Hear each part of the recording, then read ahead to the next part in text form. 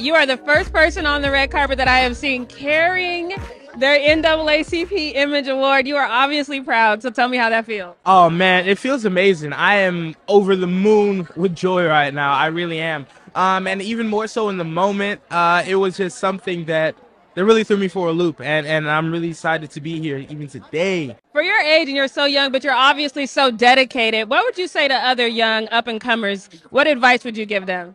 Oh man, stay true to your dream. No one in my family has uh has ever been in the business in, in this acting business. Um, I was not born into it. I had I didn't know the first thing about it, but I just knew I was gonna be on TV one day.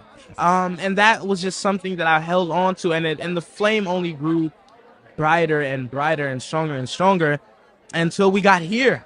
And you know, I'm just urging everyone who has that dream to stick to it and keep it because if you believe it, then sooner or later, soon enough, the world will as well. Now, an All American, Taye Diggs' character has just died off. What does that mean for the show? Man, of course, uh, we of course lost one of our heroes. I feel like everyone thinks that as well. A lot of people have been hitting me up. It's like, no, he doesn't go into glory. I'm like, yes, he didn't go into glory. But but it's okay though. Um, you know, never say never.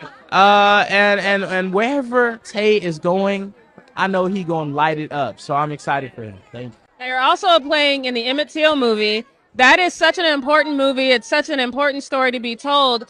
It's a big role and it's a very deep and emotional role. How did you prepare for that and stay mentally leveled the whole time? Oh, a big part of that was my mother.